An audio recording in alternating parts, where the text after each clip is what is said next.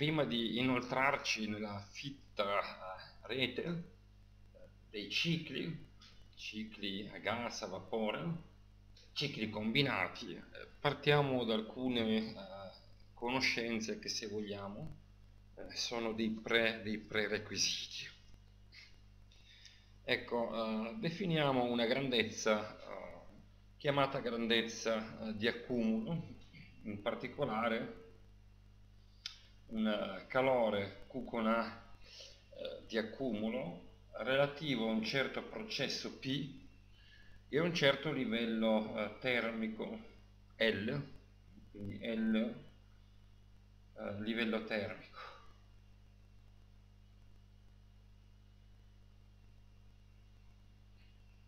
E questo è l'integrale su un certo T eh, soprassegnato del flusso eh, termico eh, nel tempo e rappresenta la somma espressa dall'integrale, quindi la sommatoria intesa in senso però continuo, di tutte le quantità di calore quindi tutte le quantità di calore eh, scambiate a un livello termico eh, minore o uguale a L. Quindi possiamo eh, riscrivere il nostro T eh, soprassegnato come un particolare eh, intervallo di tempo compreso tra un istante T1 e un istante T2 eh, in cui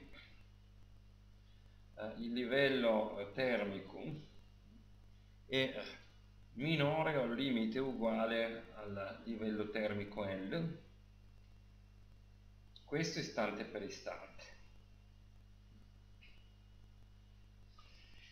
Quindi eh, questa grandezza è una grandezza di accumulo e eh, gode di una particolare eh, proprietà che in realtà è, è un assioma del secondo eh, principio.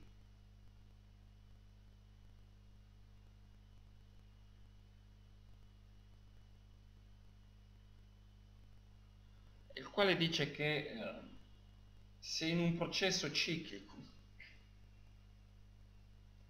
eh, quindi indichiamolo con C a un certo livello termico,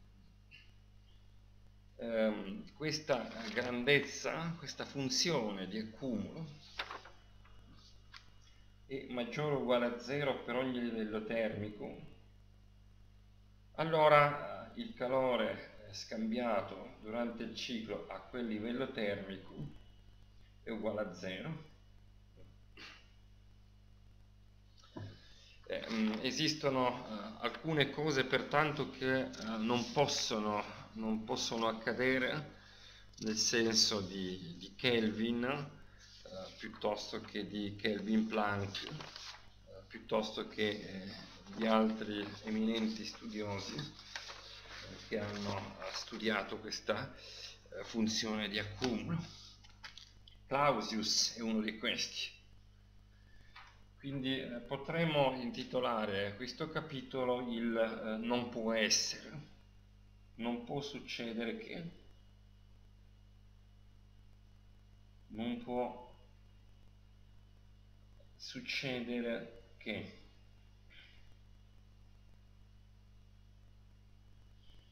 dunque eh, secondo Clausius cosa non può succedere? Secondo Clausius non può esistere eh, una macchina termica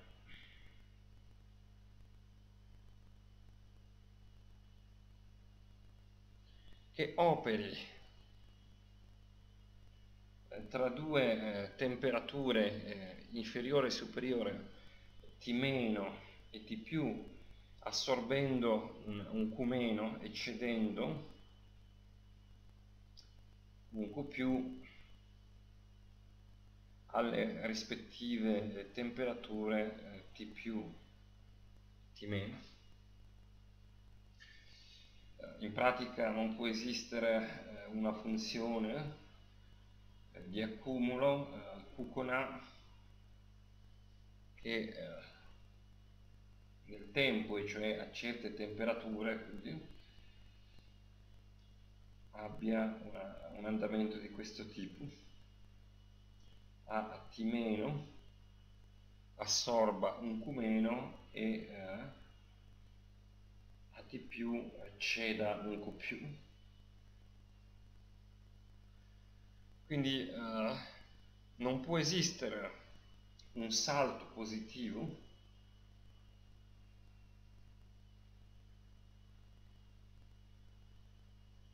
a T meno e un salto negativo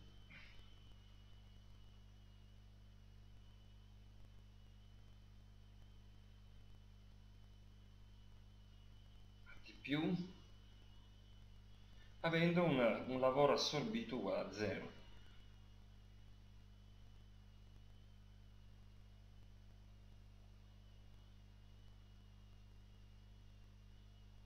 non può succedere. Secondo Clausius questo non è un diagramma di funzione di accumulo pertinente, possibile da un punto di vista fisico. E Kelvin cosa dice? Sono tutti proibizionisti, ognuno eh, proibisce qualcosa. Kelvin eh, non parla di temperatura superiore o inferiore, parla ben inteso della stessa temperatura T. E quindi eh, cade ogni accezione di Q più Q meno, Q meno Q più, c'è un lavoro Q e un lavoro L e un calore eh, Q a una certa temperatura T. Quindi la nostra eh, ipotetica funzione di accumulo Q con A a una certa temperatura T vede un certo salto positivo e poi questo uh, permane, permane. quindi uh, non è possibile uh, secondo Kelvin non è possibile un assorbimento di calore a una ad una sola temperatura T, quindi a una sola temperatura T, eh, in modo che ci sia anche una uh, cessione di calore.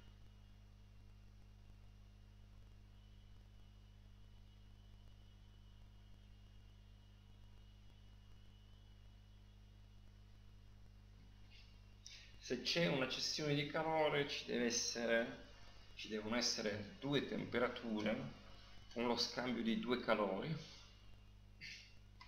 quindi ancora. 9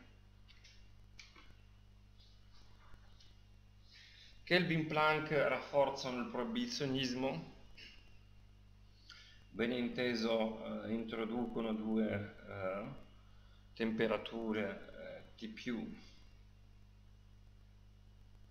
T meno dicono beh a, a, a T più eh, c'è un lavoro eh, Q più assorbito eh, viene anche ceduto un certo lavoro L bene funzione di accumulo. A una temperatura eh, T meno.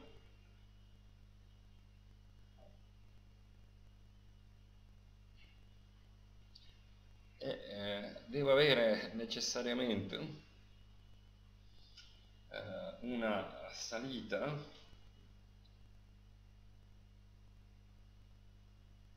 della funzione eh, di accumulo Q fino alla temperatura T+. Vedete che qua in T- a livello di calore non esiste nulla però allo stato di temperatura T corrispondente a una uh, fornitura di calore bisogna arrivarci e uh, in particolare cedendo lavoro. Dunque Kelvin Planck dice che non è possibile avere una funzione di accumulo qua eh, monotona crescente.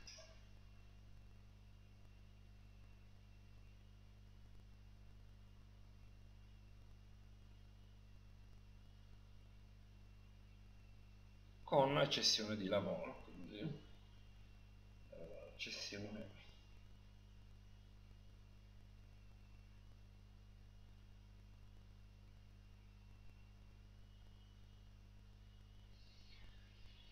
Kelvin Planck.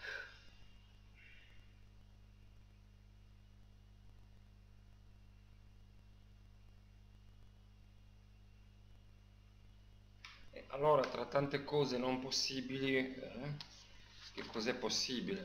è possibile una macchina uh, di questo tipo? Un MM con un uh, Q più alla temperatura uh, T una uh, Q meno ceduto temperatura T- con un lavoro L. Quindi un, un andamento scusate della funzione di accumulo U con A per esempio di questo tipo.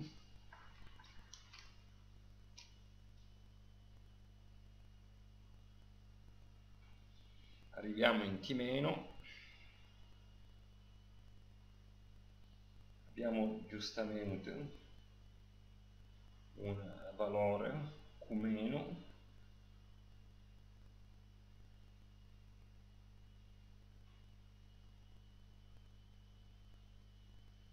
saliamo ci stabilizziamo. Eh, a partire di qua abbiamo fornito complessivamente un Q uh, più plus. Questa è proprio la temperatura eh, T plus. E questo eh, ben inteso è il lavoro